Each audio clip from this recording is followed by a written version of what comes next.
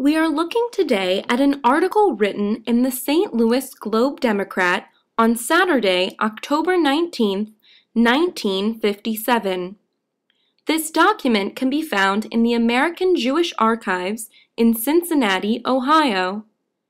The article headlined, Religion and Mental Health to be Theme of Institute Here, is a preview of the fifth annual Institute of Religion and Psychiatry at Temple Shaare Emeth in 1957. Rabbi Julius Gordon pioneered the institute in 1953. Thousands of people attended the events that sought to complement the study of religion with that of psychiatry. This annual event, put on by the synagogue's men's club, mirrored a reform movement wide phenomenon. The Central Conference of American Rabbis, or the CCAR, is a leading organization in the reform movement that connects and supports reform rabbis in North America. The CCAR also had a committee for religion and psychiatry that began in 1950. They sponsored events throughout the country, including some held at Shaare Emeth. Our main focus is not on the article itself, but on the drawing by Howard Brodie placed just next to the article. Brodie's famous drawing is titled The Power of Faith. The caption to the drawing reads, Their faith stronger than the fear of death, four chaplains on a sinking army transport in World War II gave away their life preservers so that four other men might live. Then they linked arms, these Protestant, Catholic, and Jewish chaplains, and went down with the Dorchester. This explanation of the drawing refers to the United States Army transport ship named the Dorchester. The Dorchester became a military ship during World War II and was sunk by a German submarine on February 3, 1943, on its way to Greenland. Eventually, the ship ran out of life vests, and so the four chaplains of different faiths gave up their own life jackets for other personnel on board. In this act, the men gave up their lives for the sake of their fellow shipmates. Survivors reported seeing the chaplains standing together praying for the well-being of everyone on board until their final moments.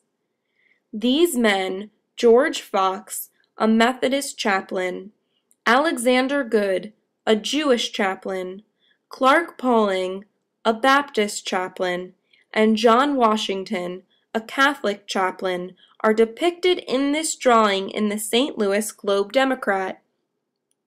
In this picture, these men of different faiths are indistinguishable from one another.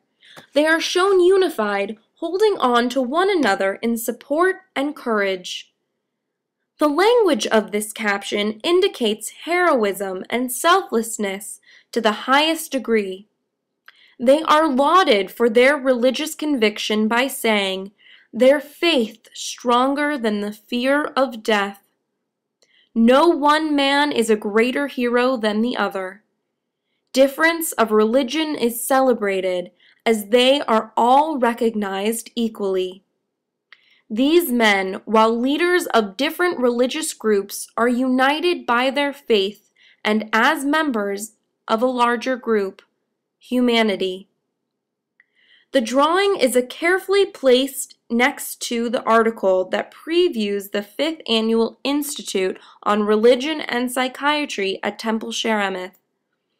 This strategic pairing highlights the interfaith nature of the Institute itself. The event featured speakers from psychology backgrounds as well as Jewish and Christian clergy. The seminar focuses on the overlapping goals of the study of psychology with religion in general, not specifically Judaism. Each share the ultimate goal of helping people. As psychologists and religionists of all faiths, we can work together to make ourselves informed about how we can all help one another in the most effective ways. This message of the Institute was not only reserved for professionals, but also to lay members of the community. The pairing of this article and drawing happened in 1957. Its message celebrates diversity and encourages us all to work together rather than separately. The post-World War II period, particularly the 1940s and 50s, were characterized as the Tri-Faith period. Tri-Faith America is Catholics, Protestants, and Jews promoting tolerance and challenging discrimination. The collaboration of clergy on a project like this Institute on Religion and Psychiatry typifies the changing relationships between religious groups happening in America at the time.